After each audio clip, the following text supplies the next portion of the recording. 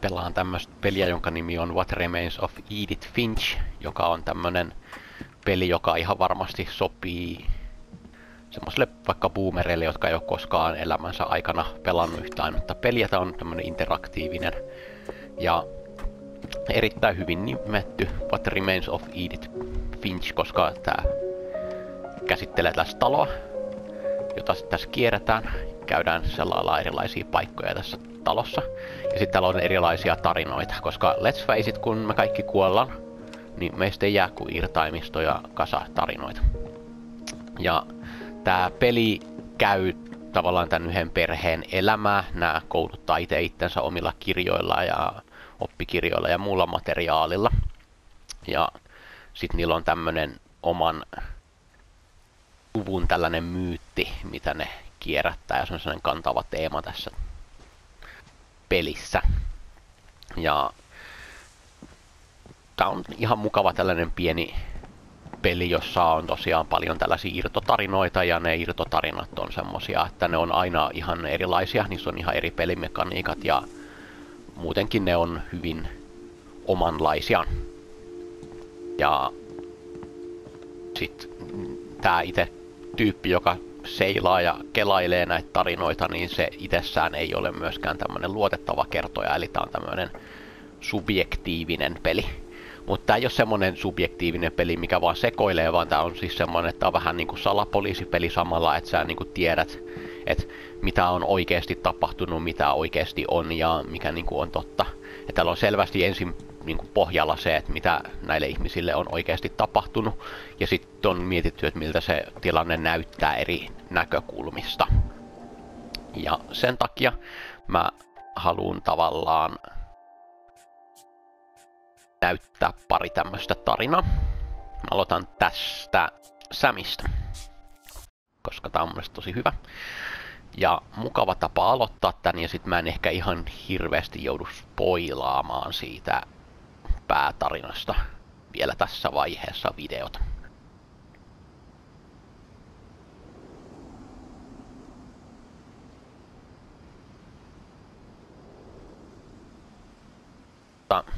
Mä aloittaisin tämän Samin alustamalla sillä, että...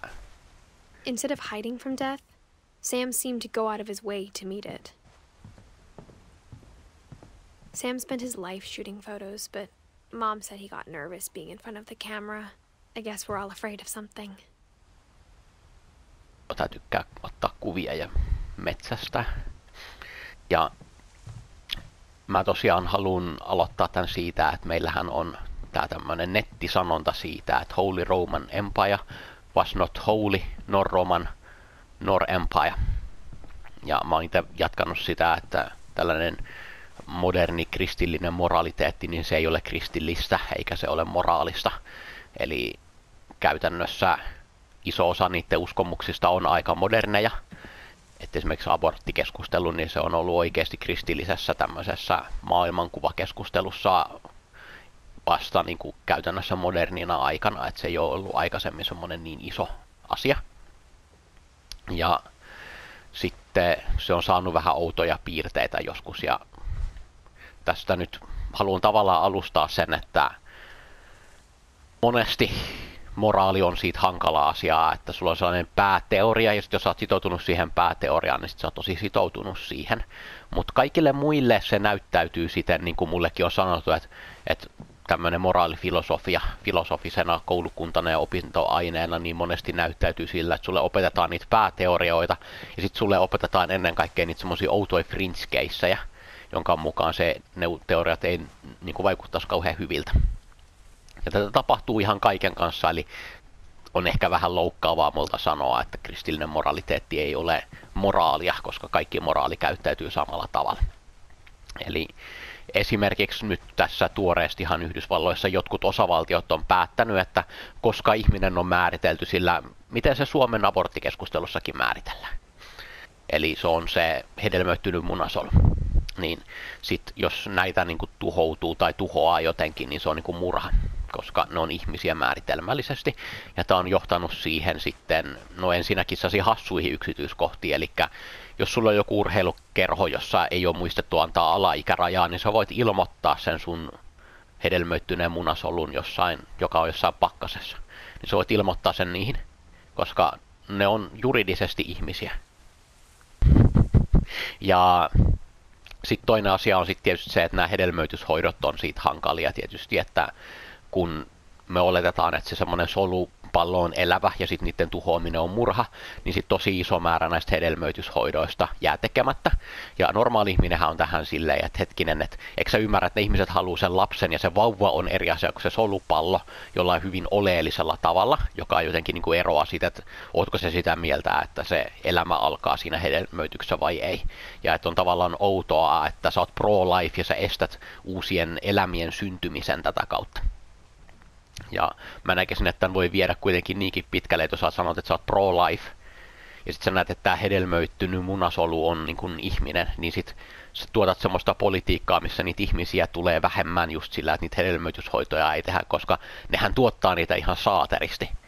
Et molemmissa tapauksissa maailmaan tulee vähemmän ihmisiä määritelmällisesti. Ja tämä on tavallaan se, että kun sä intoudut johonkin juttuun, sä menet siihen vähän liian pitkälle, niin sit siitä tulee ongelma. Ja sen takia on hyvä aloittaa tästä metsästäjästä, joka tykkää valokuvat. Dawn, I promise, you'll never forget this weekend. Yes, sir. These memories are gonna last perfect. It's gonna rain the whole weekend, isn't it? Please just take the damn picture. Hey, language. Never forget this weekend. Okay, got it. I'm gonna take some pictures, okay? Just be careful. That camera's older than you are. Aw.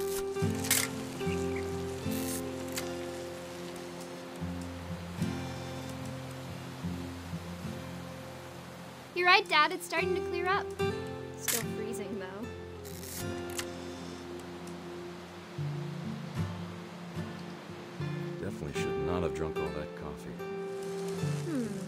Hey, That's a keeper. Hold still while I take a picture of you. I'm just saying, I'm not always gonna be here, Don. You'll need to remember this stuff if you want to survive.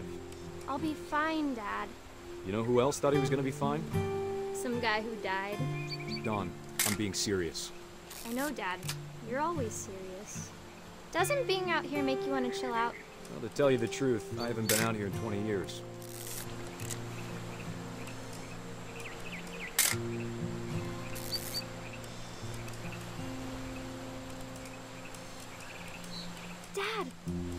Good Don.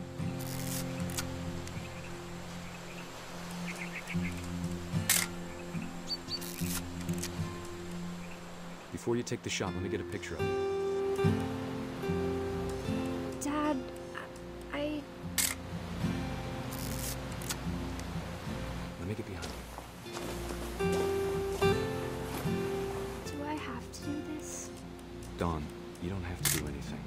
if you want to survive, you'll need to be strong. Great shot, Don! kiva kaksoismerkityspelin tekijä.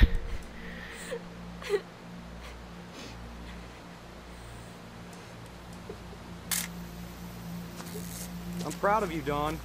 Always remember that, okay? Dad, it's twitching. I think That's it's totally so- normal, Don. Just focus on the camera. Try not to think about. Dad! Joo, mä halusin antaa tän sen takia, että tää peli on tosiaan siitä, että kaikki nämä tämmöiset tarinat on semmosia, että nämä tyypit kuolee siinä, eli me. kuullaan, että miten nämä kaikki kuolee. Ja niin kuin näkyy, niin osa näistä on aika nuoria. Ja mä en tiedä, miten mä voin sen sanoa, mutta mä en näytä teille Gregoria, vaikka se on siis, siis tavallaan kaunis peli, mutta se on mulle vähän ahistava. Mä en ole niitä ihmisiä, jotka mielellään pelaa vauvojen kuolema. Mutta tää tosiaan tiivistyy siihen, että kaikki nämä Finchit on tämmöisiä aika luovia ja omapäisiä ja ne vetää sen niiden oman sisäisen logiikan aika huippuunsa. Ja sitten samanaikaisesti tässä on tämmöinen kertomus tästä sukukirouksesta. Ja se sukukirous tarinana on tietysti semmoinen, että jos sun perheessä niin kuolee ihmisiä, niin sä hyvin mielelläs tuot jonkun tommosen, koska se tekee siitä asiasta ymmärrettävän siitä huolimatta, että se tarina ei ole kiva. Ja jotenkin siis tragedia on semmoinen, että, että se jotenkin niin kutsuu moraalia ja sitten se kutsuu tarinoita. Ja se, että, että se, se ei ole niin hyvä se tarina siitä sukukirouksesta ja ystävällinen ja niin semmoinen, että sä haluat, että se on totta. Niin sä tavallaan haluat siinä vaiheessa, jos sun suku niin kuolee paljon. Ja tämä peli on just siitä, että nämä kaikki tyypit miettii vaan koko ajan niin asioita tarinoiden kautta.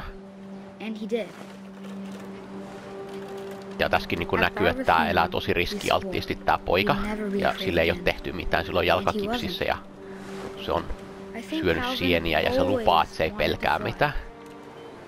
Ja sitten tämä keinu on laitettu kirjaimellisesti tähän paikkaan. Tuo aita ihan selvästi on niinku vaarallinen. Tämäkin on selvästi vaarallinen. Ja tää veli Tavallaan ihan siltä tältä kuolleelta pojalta kysytään, että mitä sillä on tapahtunut. Vaan se veli päättää, että asia on mennyt näin, koska se on kaunista. Because siis.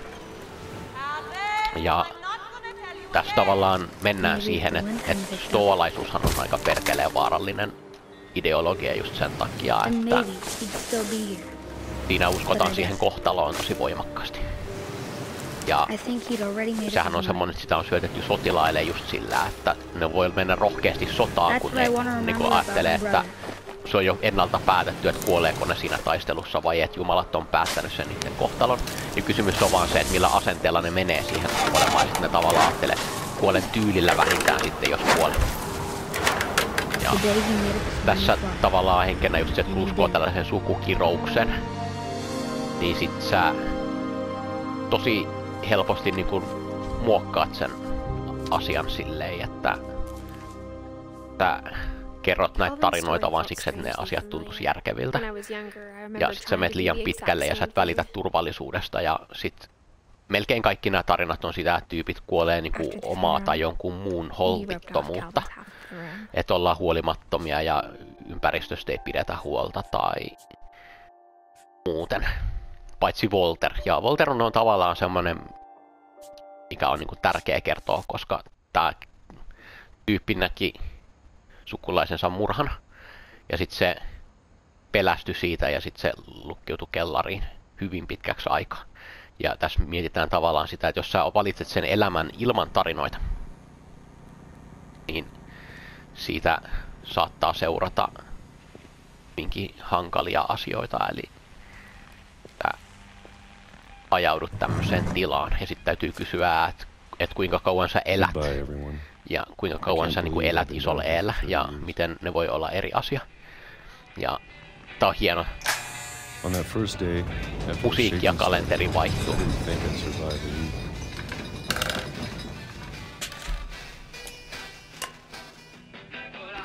Jos sun täytyy opetella käyttää tätä purkiavaajaa. That's what kept me sane. Mä osaan käyttää tätä purkiavaajaa, koska sitä käytetään niin paljon tässä pelissä.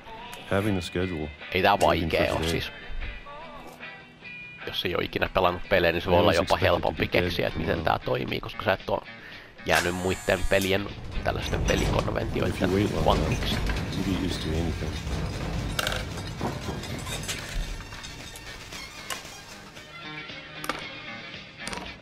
Even a monster on the other side of the door starts to feel normal.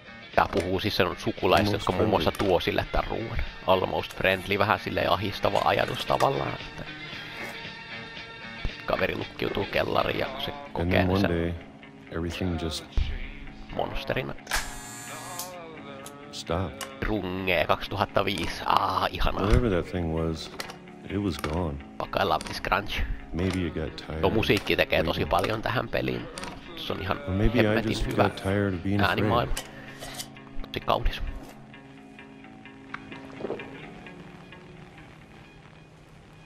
It's been a week now. the longest in 30 years. I'm done waiting kaikki viikot ei ole saman mittaisia. I have to leave. Well, I still can. Ihan haluaisi kertoa jotain tää talo. Niin jos ulkopuolinen maailmahan on kuvannut, että Volteri se on sellainen myyrämiehenä ja kaikki perheenjäsenet ei olisi tiennyt, että on ollut niin kuin elossa tämä kaveri tai olemassa. Että et siis perheen sisällä ei ole out Volterista. Ja ne, jotka on tiennyt, niin sit se on sellainen huhu myyrämiehestä. Whatever killed Barbara and Molly. And Tää on jäänyt näiden kuolemien vangiksi. Mielestäni tosi niinku Maybe kuvaavaa tälle pelille on se, että se, se voisi mennä siitä ovesta. Sille tuodaan se ruoka ja muuta, mutta se kaivaa itselleen oman käytävän seinän läpi. Even if it kills me, Se kertoo aika paljon. Haluaa vapautua siitä sen suvusta ja niistä sen tarinoista ja there. kaikesta. I want you to know I'm ready for it. I'm going to appreciate all of it, especially the food. I don't mind if I only have a year left, or a month, or a single week. Nää voi käydä kun elää omilla säännöillä. Vaikka se näyttää Caselta kaikille. Kun ethän sä tiedä, can already imagine the että sun. mitä se on, jos